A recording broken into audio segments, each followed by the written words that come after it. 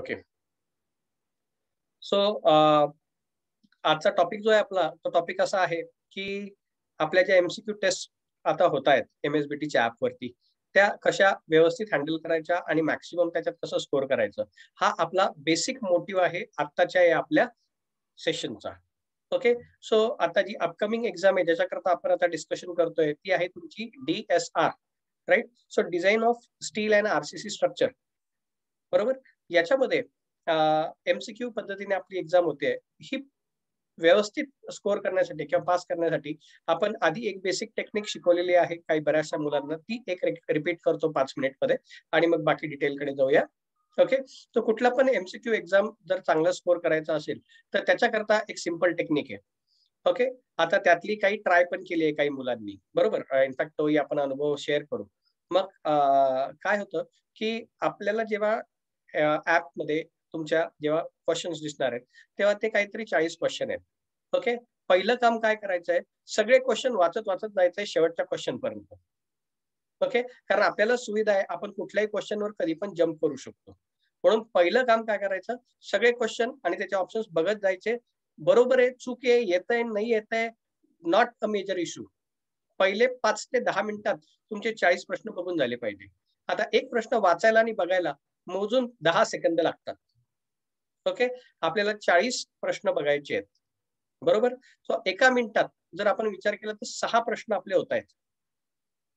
ठीक आहे ना? म्हणजे आपण दहा मिनिटं एकदम एक्झॅक्ट टाइम जरी पकडला आता काही प्रश्न आता असे असणार की ते पाहिल्या पाहिल्या लक्ष येतात. काही प्रश्न असे त्यांना थोडं पाच सेकंडच्या जागी दहा सेकंड वेळ त्या दहाच्या जागी पंधरा सेकंड वेळ लागणार आहे.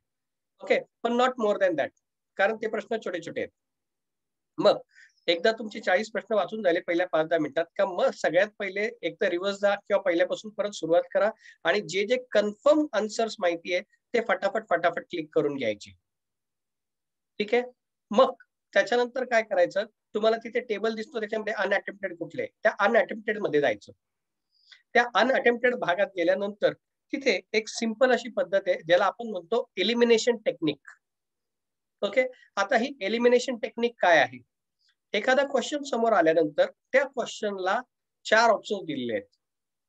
ओके आणि चारही कन्फ्युज करणारे आहेत असं जरी वाटत असलं तरी सुद्धा त्या चार मधले दोन हे शंभर टक्के असे असतात ज्याचा बिलकुल त्या प्रश्नाशी संबंध नाहीये. ओके तर मग असे जे दोन प्रश्न आपल्याला तिथे सापडतात ओके त्या दोन प्रश्नांना पहिले डोक्यातनं कट करून टाकायचं. आणि उरलेले जे दोन ऑप्शन्स आहेत त्या दोन ऑप्शन बद्दलच पहिले विचार करायचा. ओके सो आता काय होतं? या एलिमिनेशन टेक्निकमुळे तुमच्या माइंड मधलं कन्फ्युजन जे आहे ते एका चांगल्या प्रमाणात रिड्यूस झालेलं आहे. ओके सो आता चार ऑप्शनचा जेव्हा आपण विचार करतो तेव्हा प्रॉबेबिलिटी आपली वन फोर्थ आहे. म्हणजे काय? चार पैकी आपण जो पण सिलेक्ट करणार आहे त्याच्यामध्ये वन और टू ऑर थ्री और फोर जर आन्सर थ्री आहे मी वन क्लिक करू शकतो टू करू शकतो थ्री करू शकतो फोर करू शकतो. है ना? म्हणजे चारातनं माझं एकच प्रॉबॅबिलिटी आहे. पण जेव्हा मी दोन इलिमिनेट करून टाकतो तेव्हा मात्र माझी आता तुमच्या भाषेत साध्या भाषेत सांगायचं झालं तर तुक्का मारायची. है ना? काहीतरी असे शब्द वापरतो आपण त्याला. की बंडल मारली तुक्का मारला. लक ट्राय करून आलो सर असंच काहीतरी टाकून आलो. मला लकी नंबर तीन होता म्हणून मी सगळे तीन टाकून आलो. है ना? और वाटेवर असं काहीतरी मुलं करतात नेहमी. सो हे जे आपण करतो हे करताना आपल्याला काय लक्ष ठेवायचंय की पहिले ते दोन बाजूला काढायचे आणि मग हे ठेवायचं. मग याच्यात प्रॉबिलिटी काय होऊन जाते? फिफ्टी पर्सेंट म्हणजे एक तर बरोबर येईल नाही तर चुकील ओके सो प्रॉबॅबिलिटी मध्ये लक फॅक्टरमध्ये तुम्हाला यात बरेचसे बरोबर आन्सर क्लिक होऊन जातात. म्हणून हे पक्क लक्षात ठेवायचं. जे आन्सर्स येत नाही त्याच्यामध्ये पहिले हे टेक्निक वापरायचं. ओके मग दुसरी गोष्ट. आता या दुसऱ्या गोष्टीत काय परत तुम्हाला? की जे एमसीक्यू आता आपण सॉल्व्ह करतोय याच्यामध्ये आता खूप सारे मुलं कॉपी करतायत. ओके करू नका असं सांगायचो मी शिक्षक म्हणून पण मी आता ते सांगणं बंद केलंय. ओके आता काय होतंय की मुलं फटाफट फटाफट गुगलवर सर्च करायला जातात. आणि त्याच्याशी रिलेटेड आन्सर शोधतात. बरं. टेस्ट आता तुमची डब्ल्यू आर ची जी आहे ती खूप अवघड नव्हती ती सोपी होती. It was related to basic okay? आता जे जे प्रश्न मी ज्या ज्या मुलांकडनं फीडबॅक घेऊन ऐकले त्याच्यावर मला जे लक्षात आलं त्याच्यानुसार ती बेसिक वरती अवलंबून होती. आणि बेसिक कोणाला माहिती आहे ज्यांनी गोष्टीचं पुस्तक समजून तुमचं थिअरी वाचलेली आहे त्याला बेसिक माहिती आहे. ओके? किंवा ऍटलिस्ट एखाद्या सरांचे लेक्चर्स त्यांनी चांगले अटेंड केले तर त्याला बेसिक माहिती ओके? जर नसेल पण माहिती तर जास्त लोड घ्यायची गरज नाही. प्रत्येक टर्मिनॉलॉजीचा कशा ना कशाशी संबंध आहे. आपल्या ऍपमध्ये आपण जे तुम्हाला टेस्ट दिलेल्या आहेत त्या टेस्टमध्ये तुम्हाला युनिट वाईज आपण दिलेलं आहे. युनिट वाईज तुम्ही अटेम्प्ट करा. ते अटेम्प्ट केल्यानंतर त्यांचे त्यांचे रिस्पेक्टिव्ह आन्सर्स तिथे आहेत. ओके काही प्रश्न हार्डली एक पाच सहा प्रश्न रिपीट असतील. ओके आणि एखाद दोन प्रश्नांचे आन्सर्स मे बी रॉंग जाऊ शकतात. कारण कसं असतं काम करताना तीनशे साठ प्रश्न पाहत असताना एखाद दोन गोष्टी ओव्हरलोक इकडे तिकडे होऊ शकतात. बट अदर वे राऊंड बाकीच्यावरती हंड्रेड पर्सेंट विश्वास ठेवून तुम्ही त्या पद्धतीने ते करून ठेवा. आता काय होतं? मी एक उदाहरण सांगतो डब्ल्यू आर ईचं समजा तुम्हाला एक न्यूमेरिकल आलं आणि तो इंग्लिश फॉर्म्युलावर होता. ओके आपण इथे क्वेश्चन बनवला होता which of the following is English formula okay तर तुम्हाला जर इंग्लिश फॉर्म्युला परफेक्ट माहिती आहे तर तुम्हाला जे न्यूमेरिकल आलं इंग्लिश फॉर्म्युला तर त्या फॉर्म्युलेमध्ये फक्त व्हॅल्यू टाकायची गोष्ट होती आणि तुम्हाला आन्सर मिळणार होतं. म्हणजे मी तुम्हाला जर इंग्लिशचा दिलेला आहे इंग्लिश फॉर्म्युलाचा क्वेश्चन तर त्याच्या बेसिसवरती हा क्वेश्चन असा यायच्याऐवजी असा आला. गेटिंग माय पॉईंट सो आपल्याला जो पॉइंट आपण घेतोय जो एमसीक्यू आपण पाहतोय त्याच्याशी रिलेटेड पॉइंटची थोडीशी माहिती असायला पाहिजे. ओके देन अँड देन तुम्ही इलिमिनेशन करू शकता आणि त्याचप्रमाणे आपण हे करू शकतो. आता काय होतं? आता जर तुमचा अभ्यास नाही झालेला आहे तर तुम्ही काय करायला पाहिजे? तर तुम्हाला टेस्टचे तीन तीन अटेम्प्ट दिलेले आहे ओके आणि त्या अटेम्प्टमध्ये तुम्ही ते बरोबर करून करून त्याच्यामध्ये काय करायचं आहे की मॅक्सिमम वेळा ती सोडवायची प्लस कंबाईन टेस्ट करायची ती टेस्ट झाल्यानंतर लगेच आन्सर्स बघायचे. क्वेश्चन असं आन्सर्स बघणं गरजेचंच आहे. का गरजेचं आहे? कारण तुमच्या माइंडला ते फीड होतं. अशा टाईपच्या प्रश्नाचं अशा टाईपचं उत्तर आहे. सो तुमचा अंदाज घेण्याची कॅपॅसिटी वाढते. साधारण बरोबर आन्सर यावर तुम्ही क्लिक करणार. जरी तुम्हाला त्यावेळेस आठवलं नाही तरी तुमचा जो अंदाज असेल दॅट इज नियरली करेक्ट आणि देर आर चान्सेस की तुमचा आन्सर करेक्टच येईल. म्हणून ही प्रॅक्टिस करणं खूप गरजेचं आहे. ओके मग आता हे झालं how to deal with the exam आता जे टॉपिक्स आपण इथे पाहिले तर तुमचा जो पहिला आणि दुसरा चॅप्टर आहे याच्यामध्ये तो डील करतो तुमच्या स्टील स्ट्रक्चरशी ओके तो स्टील स्ट्रक्चरमध्ये जे कॉमनली विचारले जाणारे क्वेश्चन्स आहेत किंवा त्याच्यात जे काही कॉमनली गोष्टी ज्या विचारल्या जाऊ शकतात त्या ऑलरेडी आपण एमसीक्यू मध्ये कव्हर केलेल्याच आहेत. पण आता आपण डिस्कशन रिव्हिजन करतोय म्हणून सांगतो. एक तर त्याचे किती टाईपचे सेक्शन्स आहेत. त्याच्यानंतर आपण कनेक्शन्स जे न्यूमेरिकल्स पाहिलेत त्या न्यूमेरिकलमध्ये आपल्याला किती टाईपचे कनेक्शन्स करताना काय काय त्याच्यात सुधारणा करावं लागेल हे सगळं फॉर्म्युलेचे काय असतील मग whether it is correct or not answers खाली दिलेल्यापैकी करेक्ट ऑर नॉट हे त्याच्यामध्ये विचारलं जाऊ शकतं. जसं तुमचा एक सिंगल शेअर कॅल्क्युलेट करायचा आहे. ओके आणि सिंगल शेअर करता तुम्हाला चा फॉर्म्युला तिथे दिलेला आहे. ओके तो आता ह्या पॉइंट वरती कसे प्रश्न बनू शकतात हे मी तुम्हाला सांगतोय. ओके पहिला प्रश्न. What is the formula for VDSB okay मग खाली फॉर्म्युले तीन चार फॉर्म्युले दिलेले त्याच्यापैकी एक आन्सर क्लिक करा. Okay second which of the following is the correct answer for single shear? Okay आणि मग फक्त व्हीडीएसबी नाही लिहिलेले आहे. फक्त पुढचे फॉर्म्युले लिहिलेले आहे. ओके मग त्याच्यानंतर पुढचा प्रश्न. त्याच्याच रेंजमध्ये which of the following is not correct आणि तुम्हाला व्हीडीएसबी व्हीडीपीबी आणि तुमचा व्ही जो टेन्शनचा आहे तो दिलेला आहे आणि एक चौथा चुकीचा फॉर्म्युला दिलेला आहे.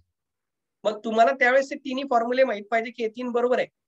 आणि त्यातला हा एक चुकलेला आहे. ओके मग याच्यापेक्षा पुढचा काय येऊ शकतो?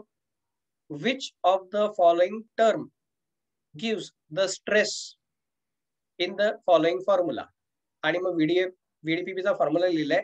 आणि मग त्याच्यात लिहिलंय F Y upon root three ब्रॅकेटमध्ये A N N N आणि खाली ऑप्शन दिलेले F Y root three N N N मग आता तुम्हाला त्यातलं ओळखता आलं पाहिजे की एफ वाय म्हणजे स्ट्रेस यील्ड स्ट्रेस बद्दल बोलताय.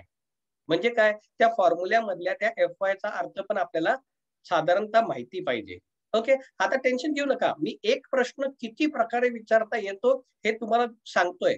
म्हणजे जेव्हा आपण एक क्वेश्चन दिलाय व्हीडीपीबीचा तेव्हा व्हीडीपीबी वरती काय काय विचारलं जाऊ शकतं? आता याच्यापेक्षा हायर लेवल आता काय झालं बघा? पहिल्या याच्यात रिमेंबरन्स लेवल होता. रिमेंबर काय? Do you remember the formula म्हणून which of the following is the formula for VDPP किंवा which of the following is the correct formula पण तुम्हाला फॉर्म्युला बरोबर आठवतो का? म्हणजे तुम्हाला आठवणे म्हणजे काय? रिमेंबरन्स ओके दुसरा क्वेश्चन काय विचारला टाईपचा याच्यातला स्ट्रेस कुठला? स्ट्रेस काढायचा असेल तर काय? हे काय? म्हणजे आपल्याला अंडरस्टँड झालंय का? त्यातल्या टर्म आपल्याला अंडरस्टँड झालंय का? ओके आणि तिसरा म्हणजे कसा क्वेश्चन असू शकतो? की find out the single shear for the plate having connected by two bolts of twenty mm diameter diameter दिला पण तुम्हाला काय करायचंय? तुम्हाला व्हीडीपीपीचा फॉर्म्युला वापरून तो डीचा डी झिरो काढून तो तुम्हाला त्याच्यात पुट करून कॅल्सीवरती आन्सर काढायचंय which is one step answer okay आणि तुम्हाला ते आन्सर पैकी एक द्यायचंय. न this is application based formula getting the point so या तीन स्टेजेस मध्ये एमसीक्यू विचारलेले असतात. आता जो डब्ल्यू आर ला आपल्याला अनुभव आला त्याच्यामध्ये जे अनालिटिकल क्वेश्चन्स आहेत ते जास्ती होते. ओके सो अनालिटिकल क्वेश्चन्स जास्ती असल्यामुळे त्या क्वेश्चन्स वरती लोकांचा भर जास्ती होता. ओके आणि बऱ्यापैकी लोकांनी जी तयारी केली होती ती तयारी होती तुमची अंडरस्टँडिंगची आणि रिमेंबरन्सची ओके अनालिटिकला ह्या दोघीच्या माहितीची गरज पडते शंभर टक्के पडते. सो आपण डेफिनेटली त्याच्यावरती लक्ष ठेवलंच पाहिजे. पण अनालिटिकल जर आलं तर काय करायचं? म्हणून आपल्याला त्याची तयारी पाहिजे. आता बघा एकच होता क्वेश्चन पण त्याला किती प्रकारे मी विचारून दाखवलं? सहा ते सात प्रकारे त्याला विचारून मी तुम्हाला घुमवून फिरून विचारला. पण करायचं तेवढं एकच होतं. VDPP is equal to F Y upon है ना रूट थ्री आणि कुठला त्याला खाली कोण असतो? Gamma M B okay? किंवा गॅमा एम वन किंवा गॅमा एम. काय त्याच्याखाली आपण वापरणार आहे? ते काय आहे? त्याची कोणती पार्शल फॅक्टर ऑफ सेफ्टी वापरतो? का वापरतो? त्याची व्हॅल्यू काय? हे छोट्या छोट्या गोष्टी आहेत. ह्या जर इनिशियली जर आपण पाहून घेतल्या तर आपल्याला पुढचं जे क्वेश्चन्स आहेत ते एकदम इझिली सॉल्व्ह होऊन जातात. Okay? So that is how you will have to look at it इथपर्यंत क्लिअर झालंय सगळ्यांना? ओके? ना याच्यानंतर पुढे जेव्हा आपण याच्यात येतो स्टील स्ट्रक्चर्स मधनं आरसीसी मध्ये तेव्हा आरसीसी मध्ये तर बऱ्यापैकी क्वेश्चन जे आहेत ते स्टेप वाईज आहे ओके? सो तुम्हाला एका स्टेपचं न्यूमेरिकल्स कशी येतील आणि किती येतील याच्याबद्दलही सांगतो. मला सकाळी काही मला वाटतं कोणाचा विवेकचा की कोणाचा फोन होता की मे बी त्यांनी मला कोणीतरी विचारलं होतं आय डोंट रिमेंबर पण त्याला प्रश्न असा होता की आपल्याला किती पर्सेंट न्यूमेरिकल येतील आणि किती पर्सेंट थेरीच्या बेसवरती येतील. सो जो एक्सपेक्टेशन्स आहे ना? जो एक्सपेक्टेशन्स आहे जो मागच्या एमसीक्यूजमध्ये रिपीट झालेला आहे किंवा मागच्या ज्या जी स्कीमच्या किंवा एक्झाम्स रिपीट झालाय त्याच्यानुसार थर्टी पर्सेंट न्यूमेरिकल आणि seventy percent theory based questions होते. ओके जर त्यांनी सडनली यावेळेस काही चेंज केला असेल तर we will have to suffer okay पण जर आपल्याला एखादा पॉइंट समजलेला आहे तर त्या पॉइंटची थेरी येऊ नाही तर न्यूमेरिकल येऊ आपल्याला काय फरक पडतो? बरोबर? So at this point of time आपल्याला फक्त काय करायचंय? आता तुम्ही एक दिवस आहे एक दिवसात अभ्यास कसं करणार आहे? आता इथे उपस्थित काही लोक आहेत जे माझ्याकडे क्लासला होते त्यांच्याकडे व्हिडिओज आहेत डायरेक्टली तर तुम्ही व्हिडिओज थेरी पार्ट जो आहे तो बघून घ्यायचा आहे. न्यूमेरिकल सगळं सॉल्विंग जे आहे ते सगळं पाहिलंच पाहिजे असं काही नाही. पण जे थेरी पार्ट आपण जे घेतलेले आहेत ते पाहून ठेवा. एक एक दोन दोन न्यूमेरिकल बघा. आणि सगळ्यात पहिले त्याच्या स्टेप्स जे आहे त्या स्टेप्समध्ये कोणता फॉर्म्युला आहे? त्या फॉर्म्युल्याच्या मध्ये तो एफ वाय म्हणजे कोण? एफ सी के म्हणजे कोण? मग तो एम यू म्हणजे कोण? ओके त्याची जी नावं आहे ना ती नावं आज नीट पाहून ठेवा. कारण जेव्हा तुम्हाला एमसीक्यू मध्ये एखादं नाव विचारलं जाईल एखादा प्रश्न विचारला जाईल तेव्हा तुम्हाला पहिले तो प्रश्नच कळला पाहिजे. Most of the time MCQ मध्ये जो सगळ्यात मोठी गफलत होते ती अशी होते की आपल्याला नेमका काय प्रश्न विचारलेला आहे हे लक्षातच येत नाही मुळात मुलांना. आणि म्हणून त्याची तयारी म्हणून ते करून ठेवलं पाहिजे. ओके सो आता काही प्रश्न आपल्या ऍपमध्ये असे आहेत बघा की ते सोडवताना तुम्हाला असा आन्सर येईल all of the above okay so जे ऑल ऑफ द अबाव वाले ना त्याच्यात इटसेल्फ तीन आणि तीन नऊ प्रश्न आहे. ओके कारण एक पॉइंट आहे समजा ऑल ऑफ द अबाव मधला त्याच्यावरती तीन प्रश्न फॉर्म सॉरी फॉर्म होऊ शकतात. ओके दुसऱ्या पॉइंट वरती तीन प्रश्न फॉर्म होऊ शकतात. आता मी तुम्हाला एकाच पॉइंटचे सहा सात प्रश्न करून दाखवले मग बरोबर. So forming a question is not difficult until and unless you know the concept it is very difficult to attempt MCQ theory परवडते. एमसीक्यू परवडत नाही. हे आम्ही आधीपासून सांगत होतो. मी बऱ्याच मुलांना जेव्हा चर्चेचा विषय झाला तेव्हा सांगितलं किंवा हे अगदी सहज नसतं. पण काय झालं होतं? मागच्या सेमिस्टरला त्यांनी पेपर इतके सोपे काढले की बाबा सगळ्या लोकांना वाटायला लागलं एमसीक्यू की जय. है ना? आणि आपण घरी बसून सगळं पाहून पास होऊन जाऊ. आता असे काही सॉफ्टवेअर्स आहेत किंवा असं काही अवेलेबल आहे है ना? ड्यू टू आर्टिफिशियल इंटेलिजन्स की तुम्हाला सगळ्यांना येणाऱ्या प्रश्नांचे दुसरं रिपिटेशन होणं सुद्धा अवघड आहे. तुमचे जे मित्र असतील त्यावेळेस तेव्हा जर दोन मित्र शेजारी बसले तर entirely different question paper to one and another होईल. आता ते आपल्या ऍपमध्ये सुद्धा आहे. म्हणजे माझ्यासारख्या छोट्याशा इन्स्टिट्यूशनच्या ऍपमध्ये येऊ शकतं. तर it is is it really difficult for M S B T to produce different paper for all different people अजिबात नाही. त्यांची मेहनत कुठे? नंबर ऑफ क्वेश्चन्स वाढले. सो त्यांनी ती यावेळेस मेहनत घेतली. त्यांनी एवढे क्वेश्चन बँक करून ठेवली आहे की त्याच्यातनं काही पण येऊ शकतं. आपण पण आपल्या साईडनी हे केलेलं आहे. पण मग क्वेश्चनचा फॉर्म बदलला म्हणजे हे ते नाहीये असं नाहीये. हे तुम्ही लक्षात घ्या. आणि आपण या प्रत्येक पॉइंटला रिमेंबरन्स अंडरस्टँडिंग आणि अनालिसिस या तिन्ही पॉइंटनी बघायचं आणि मग पुढे जायचं. तरच ते शक्य आहे okay so for any doubt तुम्ही आता मला विचारू शकता. आता तुम्हाला माझ्याकडनं काय अपेक्षित आहे? तसं तर मी या पूर्ण लेक्चरमध्ये कव्हर करून दिलंय तुम्हाला की नेमकं तुम्हाला अभ्यास कशा पद्धतीने करायचा एका दिवसात आणि तुम्हाला काय मदत होईल किंवा तुम्ही या पद्धतीने केलं तर तुमचं फटाफट होईल. ओके तुम्हाला माझ्याकडनं काय अपेक्षित आहे? एक अपेक्षा सोडून आहे ना? आता जे रेग्युलर आहे त्यांना माहिती आहे की पेपरच्या टाइमला मी काहीच मदत नाही करत. है ना? तो जे नवीन आहे त्यांच्याकरता सांगून दिलं. हा पेपरच्या टाइममध्ये कारण एक्झाम तुमची आहे. एक्झाम माझी नाही. तुमची एक्झाम तुम्हाला मुबारक. मी पास करून झालो मी डिग्री झालो म्हणून मी लेक्चरर झालो. तुम्ही तुमची एक्झाम द्या तुम्ही पास व्हा. तर त्याच्यात मदत नाही होणार. हा पण त्याच्या व्यतिरिक्त काही डाऊट्स आहे. आम्ही काही सर वाचत होतो. आम्हाला हा पॉईंट नाही समजलेला तो पॉईंट नाही समजलेला. तो that I can just tell you or I can summarise it okay so काही डाऊट असेल तर एक एक करून आपण स्टुडंट्सला मी विचारतो. ओके आणि तुम्हाला काही डाऊट असेल तर तुम्ही विचारू शकता. क्रांती? Sir okay Monika? नाही सर काही नाही. ठीक आहे. Mustafa? No sir okay Sachin? नाही सर ओके ठीक आहे. विवेक? नो सर काही डाऊट नाही. ओके विपिन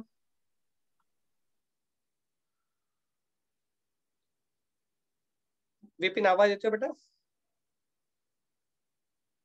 ठीक आहे समोर नेट कनेक्शन असेल काही? हा आता ज्याच्याकडे डाऊट आहे लास्ट तो श्रेयस. हा काय काय विचारायचं त्याच्यात ते विचार. सर थोडीशी काय काय काय? थेरी थेरी नाही कळली तिची थोडस क्लिअर अजून मोठ्याने बेटा सर थेरी नाही कळली सर त्याची अच्छा थेरी नाही थेरी नाही लक्षात आलेली त्याची. ओके सी वेल्डिंगच्या किंवा जे वेल्डेड कनेक्शन आहे तर वेल्डेड कनेक्शनमध्ये तीन महत्त्वाचे पॉइंट आहेत.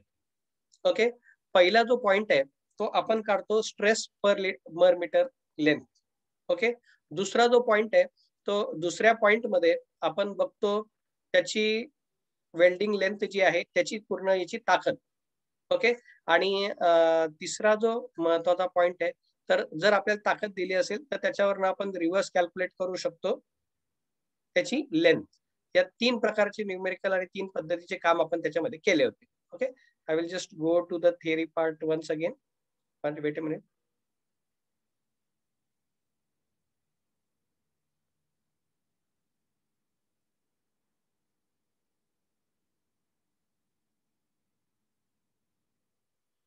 म्हणजे some questions will be like की तुम्हाला आता फिगर्स दाखवल्या असतील आणि तुम्हाला विचारलं जाईल की हे काय आहे कसं आहे all that okay welding connections okay ठीक आहे. सो आता वेल्डिंग कनेक्शन्समध्ये आपण आहोत राईट हा. तो वेल्डिंग कनेक्शन्समध्ये जर आपण पाहिलं त्याची थिअरी टोटल जर डिस्कस करायची ठरली ओके? तर सगळ्यात पहिले आपण दोन टाईपच्या वेल्ड पाहिल्या होत्या. एक होती बट वेल्ड एक होती फिलेट वेल्ड ओके? सो आता आपल्याला ही बघायला मिळते ही बट वेल्ड आहे. बरोबर? बट वेल्डमध्ये काय झालं? The two plates plate one and plate two they were connected like आमने सामने. ओके? म्हणून त्याला आपण बट वेल्ड म्हटलं होतं. ओके? मग त्याच्यानंतर वेल्डिंगचा शेप काय आहे? त्याच्यानुसार त्याला व्ही किंवा डबल व्ही आहे ना? असे नावं दिले होते. तो एक टेबल तुमच्याकडे आहे सगळा.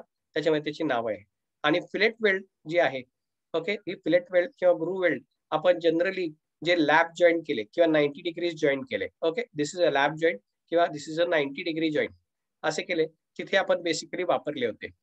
बरोबर? आता बघा इथले बसल्या बसल्या एक क्वेश्चन मनात येतो. Where is fillet weld used amongst the following cases?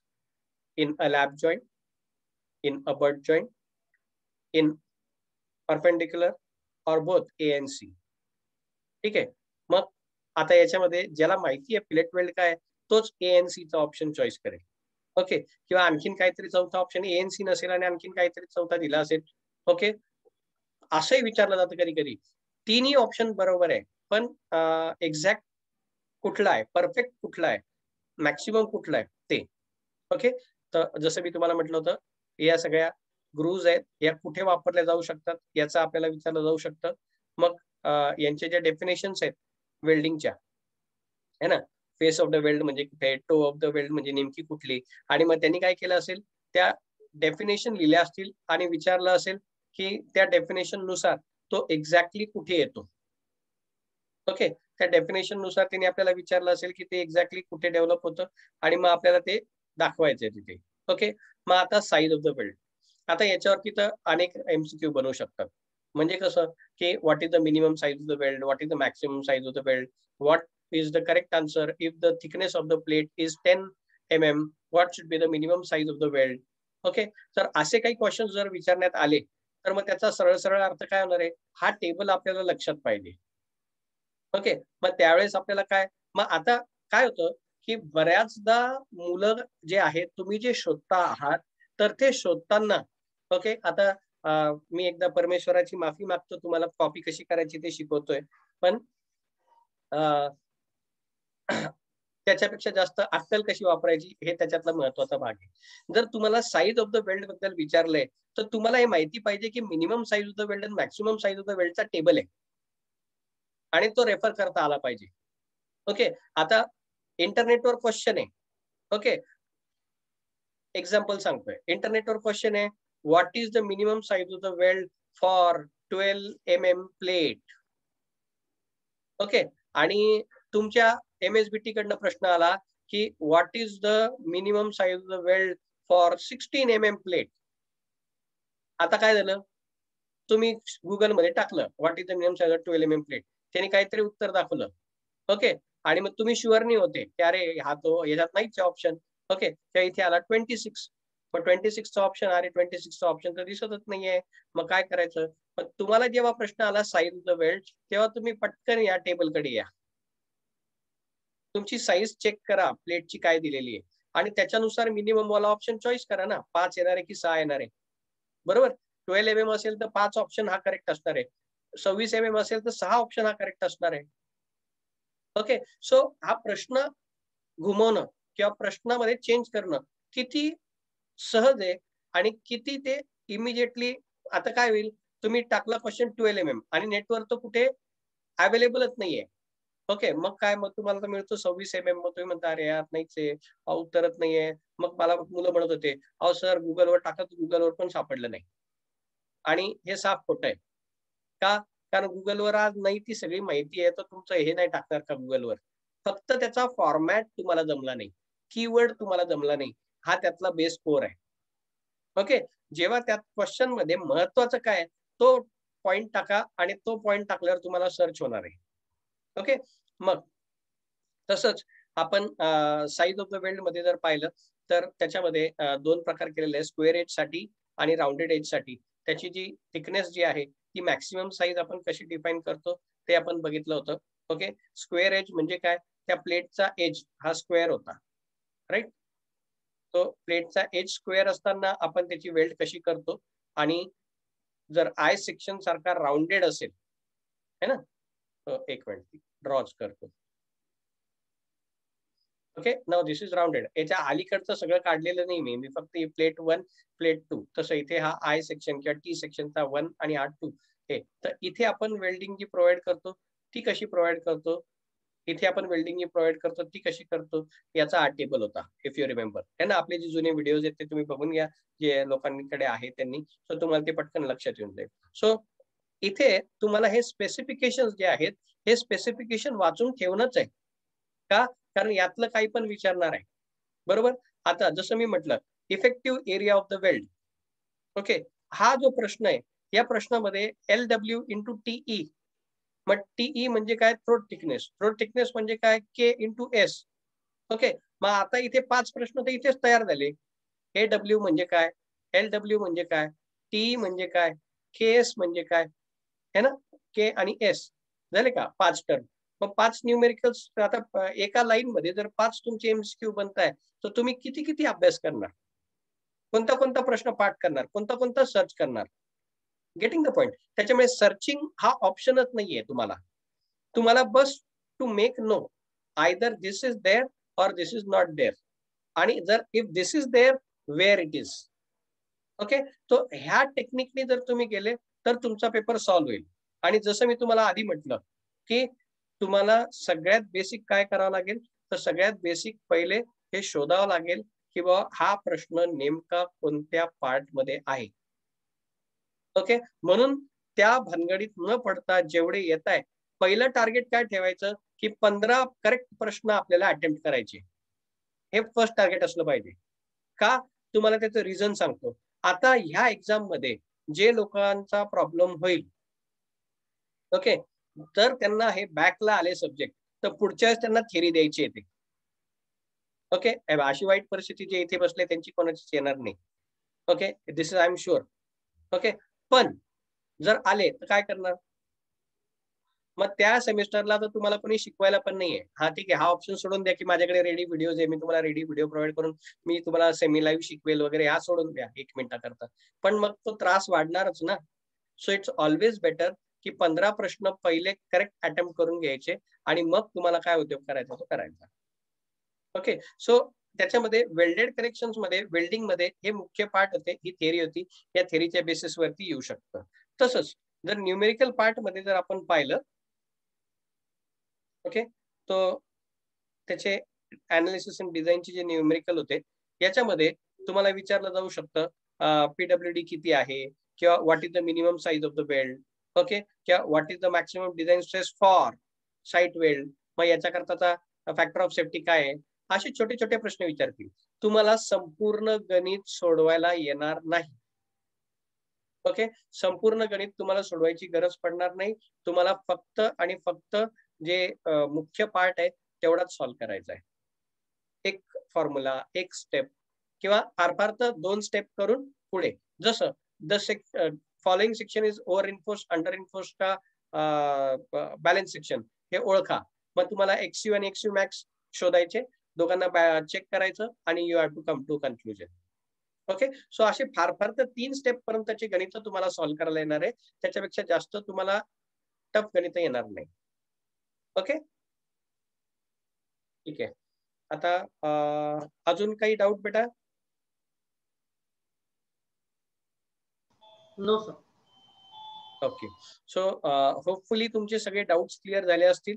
Okay revision uh, तुमच्या साईडनी करायची होती. मी म्हटलं होतं की तुम्ही काहीतरी वाचून या करून या. म्हणजे तुम्हाला डाऊट्स येतील तर तुमचे डाऊट्स आपण याच्यात रिवाईज करून घेऊन सॉल्व्ह करू. ओके अजून एक चान्स देतो वाटलं तर. उद्या वाटलं तर उद्या तुम्हाला जर एक्सपेक्टेड असेल की नाही सर आज आम्ही करतो. उद्या तुम्हाला काही डाऊट्स असेल तर विचारतो. तर मी उद्या अजून एक सेशन घेईल. नो नो वरी आहे ना? पण तुमच्या साईडनी इनपुट पाहिजे तर. आता मी असं जर सांगायचं म्हटलं तर बघा मी एकाच फॉर्म्युल्यामध्ये तुम्हाला सहा सात प्रश्न करून दाखवले. तर मी तुम्हाला किती रिव्हिज रिवाइज करणार आहे त्याच्यामध्ये किंवा किती हे करणार आहे हे तुमच्या माइंडमध्ये जे जात नाही त्याच्याकरता मी आहे. जे ऑलरेडी तुमच्या माइंडमध्ये जात आहे ते जर मी सांगायला सुरुवात केली तर तुम्ही बोर होऊन पळून जाणार आहे. ठीक आहे? सो डन फॉर टुडे काही डाऊट नसेल तर आपण हा सेशन थांबूया. ओके हा जो व्हिडिओ आता आपण जे काही डिस्कशन केलंय हे मी त्या ऍपला तिथे अपलोड करून देईल एक दहा मिनिटात.